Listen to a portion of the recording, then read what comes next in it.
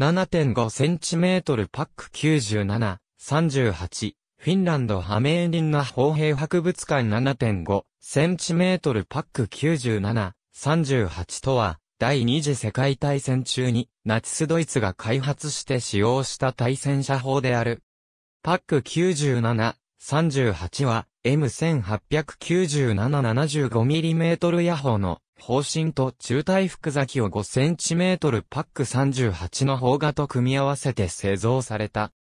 ドイツ国防軍は1939年のポーランド侵攻と1940年のフランス侵攻において多数の M1897 ヤッホーを露獲し、ポーランドで露獲したものには7.5センチメートル、FK97、フランスで露獲したものには7.5センチメートル FK231 の正式名称を付けて運用した。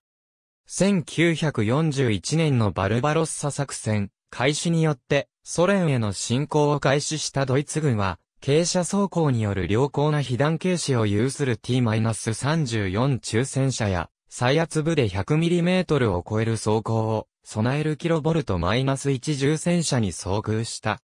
当時のドイツ軍の主力対戦車砲のうち3.7センチメートルパック36は全く刃が立たず、5センチメートルパック38は T-34 には対抗可能であったが、キロボルト -1 に対しては貴重なタングステン芯入り鉄鋼弾を複数発命中させねば撃破できなかった。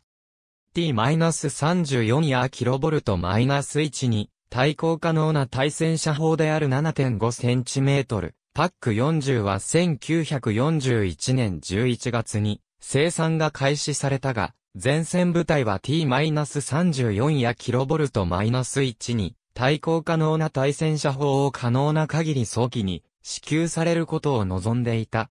ドイツ軍はフランス軍が第二次世界大戦において M1897 ヤ砲の一部を対戦車砲として運用していたことに目をつけた。M1897 ヤ砲は対戦車砲として使うには初速が低い上に左右車角も狭く、車軸にサスペンションがないため牽引速度も低かったが、初速については弾頭を鉄鋼弾ではなく、成形策薬弾とし、他の二つについては、ソロターン車製のマズルブレーキを装着した M1897 の方針を、パック38の砲画と組み合わせることで解決した。こうして完成したのが、パック97、38である。パック97、38は、対戦車砲弾として、主に、フランス製のヒート弾を使用しており、これは、スペック上命中すれば T-34 や、キロボルト -1 の走行をも貫通可能であったが、一発で仕留めることは困難だった。しかも、低初速ゆえに移動する戦車へ直撃弾を送り込むのは難しく、500メートルも離れると、たちまち命中率が低下した。ヒート弾の登場以前には、ポーランド製の鉄鋼弾も使用されていたが初速が低いため運動エネルギーが小さく、パック40よりも威力が低かった。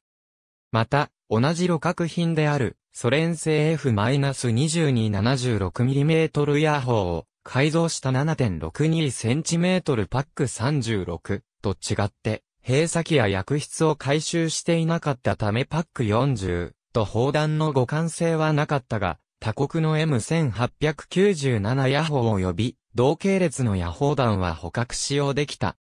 前述のように、パック97、38はヤホーだった頃の、馬筆用の砲画から、車両受け人用に、パック38対戦車砲の砲画に転載していたが、これは軽量であるため 75mm 砲弾の反動を吸収しきれず方針がぶれ、特に鉄鋼弾を撃つときは、これが顕著であった。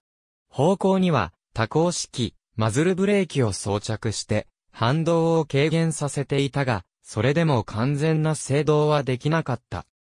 1942年初めから1943年7月までに3712門の M1897 ヤ砲が改造されたが、うち最後の160門は、パック97、40と呼ばれる、砲画をパック40用のものに変更された、タイプであった。これは、砲画の大型化に合わせ重量が 155kg 増加していたにもかかわらず、射撃性能に差はなかったという。このように欠点は多かったが、榴弾も再生産され火力支援用、または要塞陣地用として終戦まで運用は続けられ、一部はルーマニア軍に売却された。また、フィンランドも冬戦争時代の1940年に、フランスから購入した M1897 ヤホーを、パック97、38使用へ回収し、継続戦争でこれを運用した。これは、戦後も長い間予備兵器として保管され、1986年にようやく退役した。ありがとうございます。